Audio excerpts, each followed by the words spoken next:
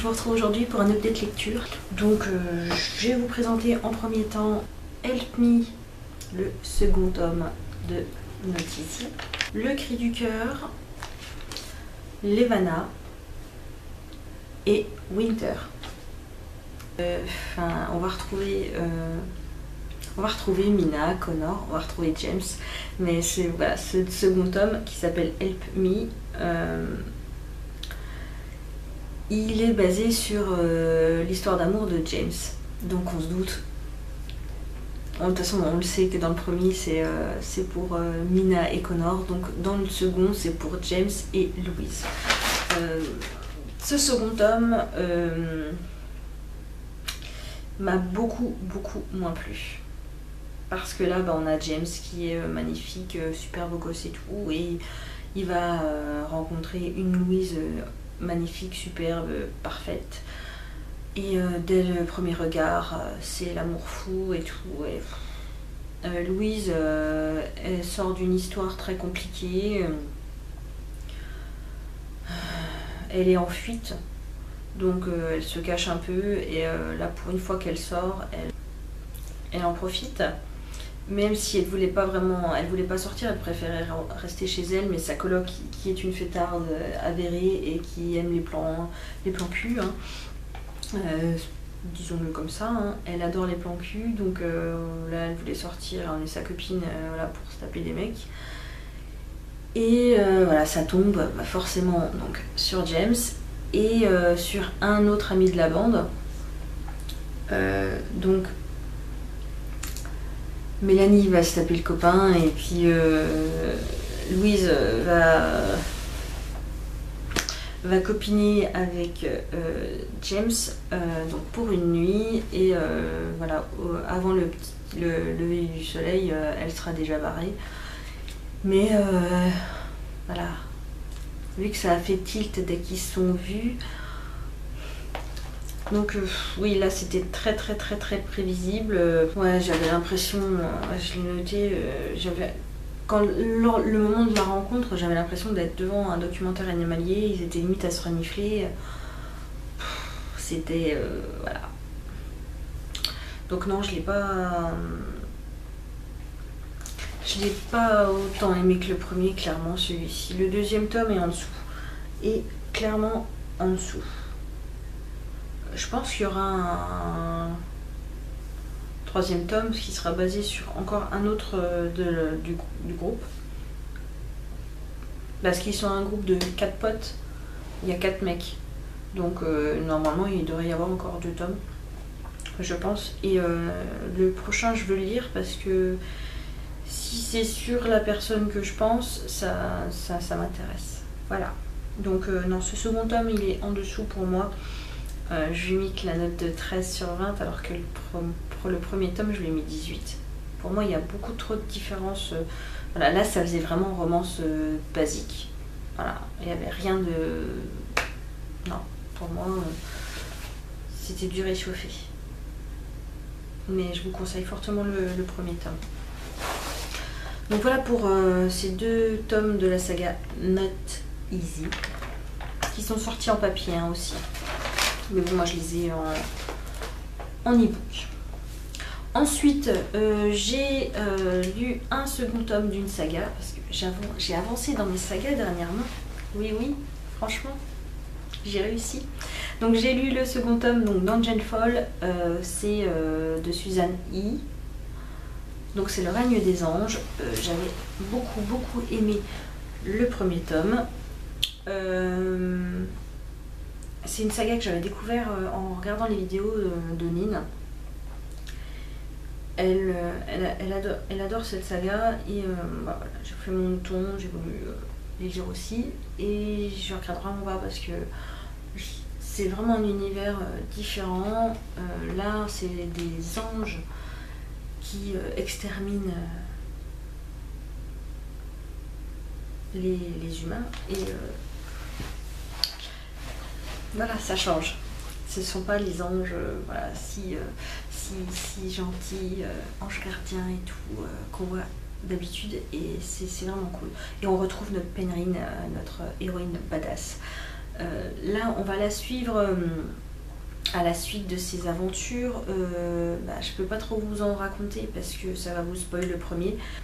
Donc dans ce tome, on va retrouver nos anges qui sont encore plus méchants que dans le premier. C'est un tome beaucoup plus sombre.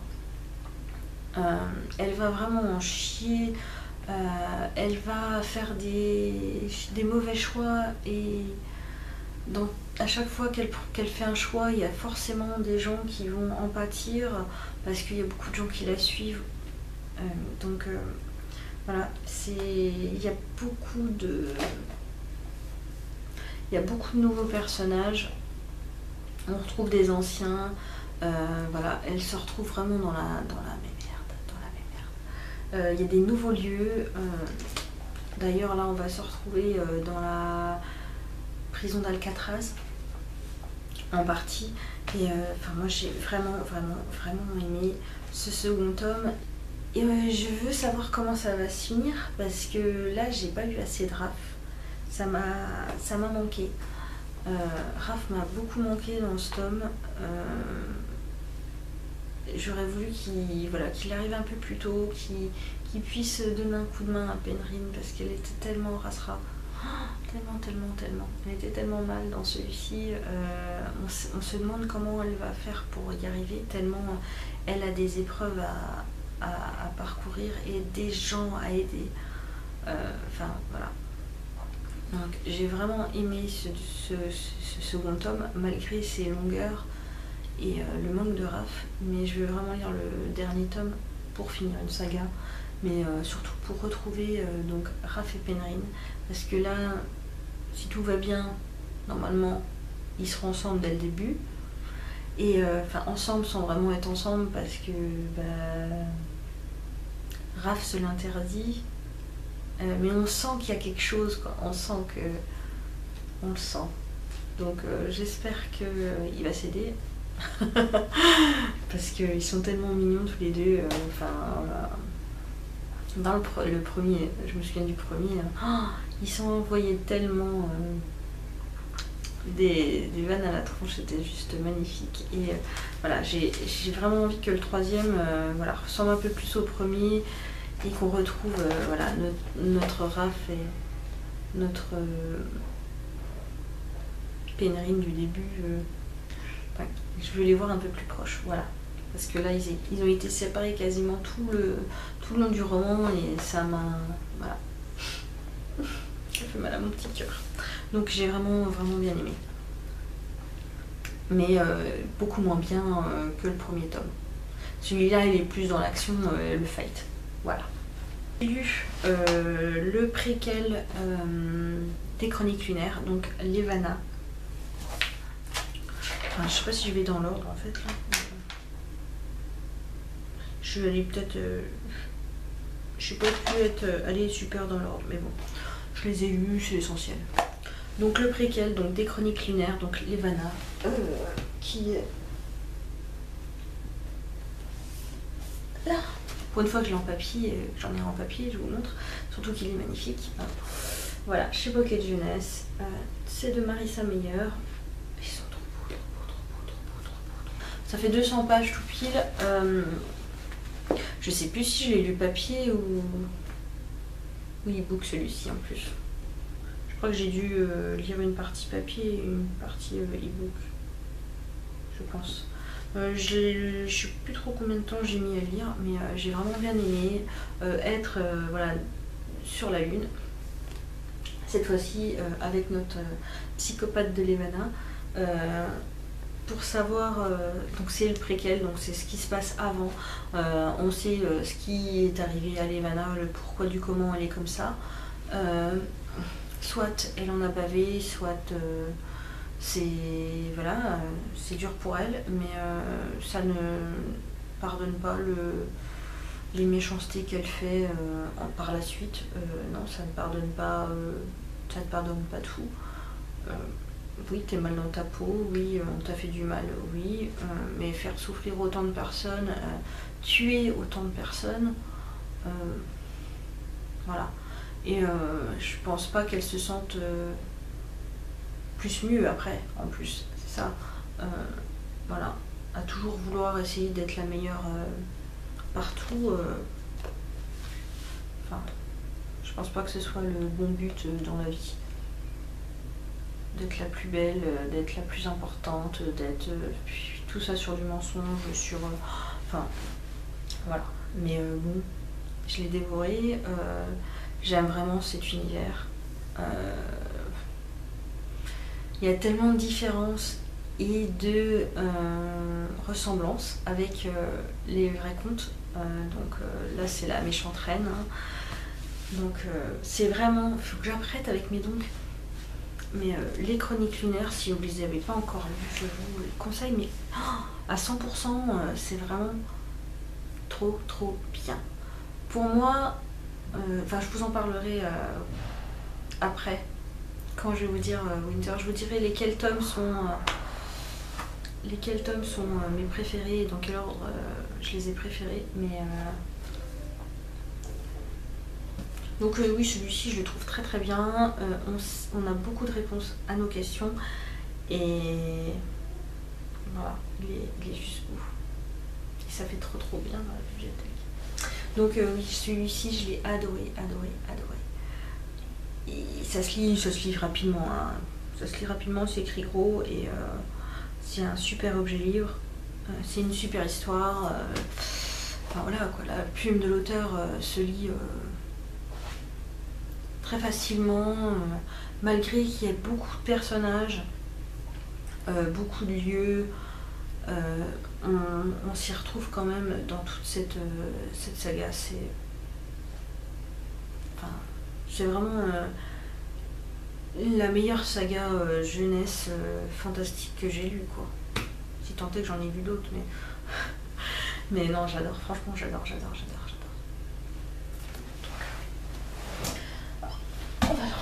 Aïe. Mange ton coude, mange. Ensuite, bah, j'ai lu Winter euh, peu de temps après, hein. euh, clairement. Donc là, c'est la bricasse. Euh, il est magnifique aussi. par contre, celui-ci, bah, clairement, je ne l'ai pas lu papier, hein, je vous le dis, parce que c'est vraiment pas pratique. Et peur de l'abîmer surtout. Donc il y a 980 une page pas de bêtises. Ouais, 982. Ouais, 982 pages. Donc, euh, je l'ai fait traîner. Je l'ai fait traîner. Voilà, j'avais un peu peur euh, bah, de, quitter l'univers, franchement, j'avais pas envie. Euh, parce que voilà, c'est le dernier, c'est fini. C'est fini. Donc ouais, triste, triste, triste que ce soit fini. C'était trop bien, c'était trop bien. Les livres sont trop beaux, ça fait une merveille, une merveille. Donc euh, dans ce tome-ci, on va retrouver donc euh, bah, Winter qui est Blanche-Neige, hein, clairement. En majeure partie, on fait sa connaissance et euh, elle est très touchante. Elle, voilà, c'est comme dans le conte, c'est Winter, elle est proche des gens. Elle est trop mignonne. Et dans celui-ci, bah, c'est le grand final. Euh, on sait enfin euh, comment Cinder et ses amis parviennent à contrer Levana, la méchante reine. Bah, si on suit de toute manière les contes, vous savez que c'est toujours les gentils qui gagnent. Donc dans ce tome, on se rend compte euh, de toutes les épreuves que Cinder, euh, Kai, enfin Kai, Kei, je sais pas trop comment on l'appelait, euh, Keito, le, le, roi de la communauté. Euh, merde, la communauté. La communauté. Je sais plus. Elle a forcément un nom cette communauté. Juste ouf. Donc on alterne les chapitres euh, euh, où on suit Scarlett, d'autres où on va suivre Lou, d'autres où on va suivre Kai et Levana, d'autres où... enfin voilà, c'est trop trop trop trop trop trop trop bien. je l'ai vraiment surkiffé ce tome. mais bon, pour moi, le meilleur tome, c'est quand même Cress. Moi, j'ai adoré, adoré, adoré le tome de Cress. ensuite, bah, je mettrai celui-ci. Oui. Ouais. J'hésite entre le premier et le Winter en fait. Euh, donc ouais, je mettrais Cress, Winter, Cinder, Levana et Scarlett. Ouais, Scarlett en dernier, c'est celui qui m'a moins, moins convaincu. Euh, j'ai moins accroché avec euh, Scarlett. voilà, le tome 2, j'ai moins accroché. C'est comme ça. Hein. Il y en a pour d'autres, ils l'ont adoré. Moi, c'est le tome qui est un petit peu en dessous. Mais bon, cette, cette saga est juste super, super, super, super. Euh, mes personnages favoris, c'est euh, c'est Cress et Thorn. Euh, voilà, c'est mes, mes chouchous, eux, c'est mes chouchous. Voilà. Winter est toute mignonne aussi. Winter et son garde, je les aime beaucoup aussi. Enfin voilà, tous les personnages, voilà. Je m'y suis attachée forcément après tous ces tomes. Mais euh, voilà, c'est une super, super, super aventure à suivre. Et je regrette vraiment pas de les avoir lus. J'aurais dû les, voilà, moins les espacer. Mais bon, voilà. Celui-ci, il faisait peur en même temps. Hein. Il est, il est juste euh, superbe. Donc voilà, je vous les conseille fortement, fortement, fortement. Ensuite, bah, ensuite, pas vraiment ensuite, euh, enfin dernièrement, j'ai lu le cri du cœur, donc euh, d'Amélie. Euh, c'est de l'auto-édition, 180 pages en, e-book. Je sais pas trop combien ça donne. Je sais pas s'il est sorti papier ou pas. c'est de la romance. c'est le premier roman d'Amélie que je lisais. Et j'entends beaucoup, beaucoup parler d'elle sur la chaîne d'Aurore 6, 21, 28, je crois. Je crois que c'est ça. À chaque fois, je vous. C'est pas la première fois que je vous parle d'elle. Mais à chaque fois, je, bug sur euh, le nom de sa chaîne. Euh, j'essaierai de vous la mettre en barre d'infos si ça vous intéresse. J'essaierai, hein. D'ici que je m'en souvienne. Donc, euh, et ma soeur l'avait lu et elle me conseillait de le lire. Voilà. Donc encore une histoire où on s'aperçoit que l'amitié homme-femme, bah ça n'existe pas. Hein, voilà. Je tiens à le préciser. Hein. Ça n'existe pas. Voilà, on se leurre, on, croit que ouais, c'est mon best friend, machin, mais en fait non. Je me suis fait avoir, il y en a beaucoup qui sont à avoir. Donc euh, Aubrey euh, veut euh, attendre le bon moment pour lui dire en fait. Elle, elle repousse tout le temps, elle repousse tout le temps, et puis il arrive un jour où lui bah il veut lui parler tout ça, mais il veut lui juste lui dire bah, qu'il s'en va en opération humanitaire pour quelques mois au Brésil. Donc euh, voilà, ils se retrouvent séparés euh, pendant euh, quelques temps. Et c'est dur pour Aubrey. et elle a hâte qu'il rentre. Et elle veut lui sauter dessus quand il rentre. et lui dire. Sauf que il va se passer plein de choses. Et l'auteur, elle nous fait. Ça a été horrible pour moi. J'ai détesté, je l'ai maudite parce que je me suis fait encore plein de films dans ma tête, encore. J'arrêtais pas de dire à ma soeur Yves, c'est à cause de ça, c'est ça, c'est ça. Il peut pas, il peut pas être avec elle parce que machin, il va lui dire ça. Mais non. Et euh, ça m'a saoulée. Ça m'a saoulée, j'en avais. J'étais en colère. J'étais en colère tout au long de ma lecture. Euh, jusqu'à temps euh, de savoir le pourquoi du comment. Mais voilà, ça m'a gonflé. Ça m'a gonflé. Euh, donc, euh, trop de suspense, euh, non. C'est pas, pas, pas pour moi. Clairement, moi, je voulais savoir ce qui se passait tout de suite. ou ne pas me faire ça tourne autour du pot tout le long, mais ça m'a saoulé. Ça m'a saoulé. L'histoire est belle, mais ça m'a saoulé. Et je peux pas, bah, je peux pas vous spoiler. Mais euh, certains vont l'adorer. Et mais moi, euh, j'ai bien aimé, mais j'ai été vraiment très très très frustrée par euh, le fait de ne pas pouvoir savoir tout de suite le pourquoi du comment Logan ne peut pas être avec Aubrey. C'est agaçant, agaçant, agaçant possible. Mais il va quand même se passer des choses. hein. Voilà. Il se passe des choses euh, quand même entre les deux. euh. Voilà. Donc c'est une bonne lecture quand même, mais j'étais tout du long euh, en colère jusqu'à temps que je sache. Et après j'ai apprécié ma lecture. Voilà. J'ai été longtemps en colère après l'auteur. Voilà. Je retenterai Amélie. Peut-être plus Amélie avec Marie Rache. Mais euh, voilà, là, j'étais un petit peu euh, frustrée. Mais si vous aimez pas les, les, histoires où, il y a de la religion mêlée, euh, tentez pas. Donc voilà pour mes dernières lectures. Je vous fais des bisous et je vous dis à dimanche pour la prochaine vidéo. Bye bye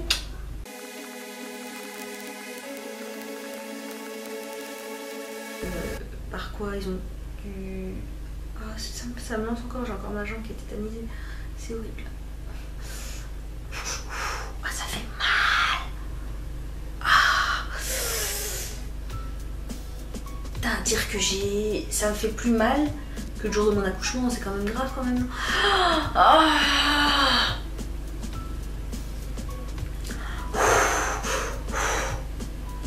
C'est horrible la tétanie.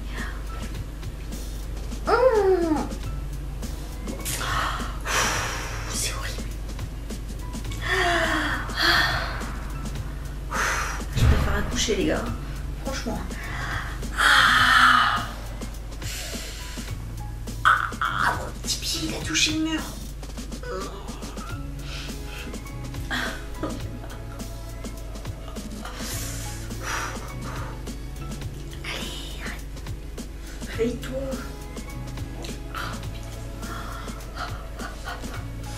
C'est horrible. C'est horrible.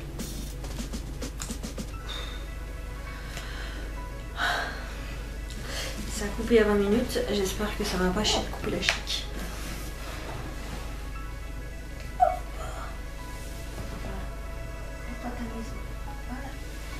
Mais bon, je suis tentée d'acheter le de nouveau en fait.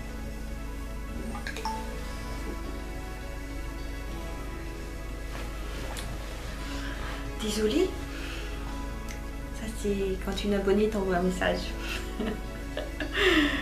Coucou, c'est vrai. Tu fais des bisous? Oui, en plus, en plus elle s'appelle comme ma soeur. Pour une fois, elle s'appelle ma soeur. Ouais.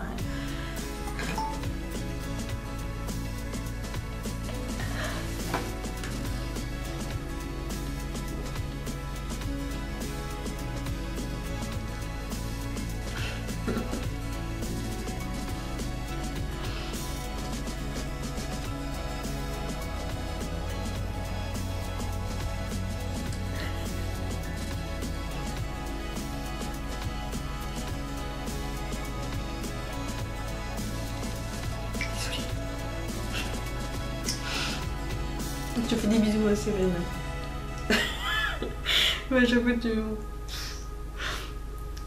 Elle me fait trop rire. Et ouais, on discute quand même pas mal. Sur- Surtout le dimanche matin, comme suis en compagnie au boulot. Elle me fait trop rire. Elle va m'envoyer un message encore. Je vais encore être euh, désolée. Ah, Il va y avoir du blooper ça pour cette vidéo.